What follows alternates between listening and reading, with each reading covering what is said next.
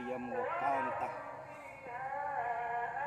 apa ini jenisnya yang penting lebar-lebar. Dan ini kalau direbus sangat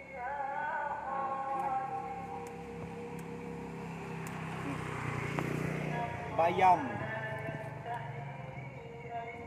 Bayam lokal lebarnya luar biasa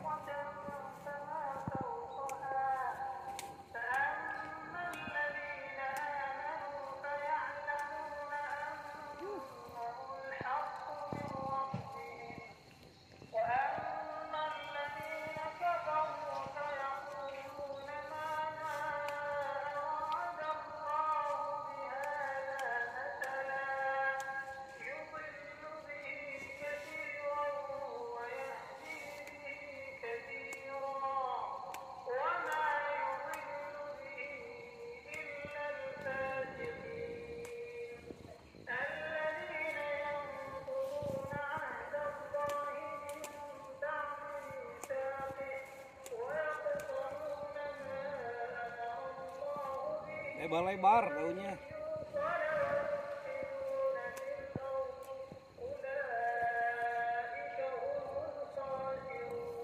dah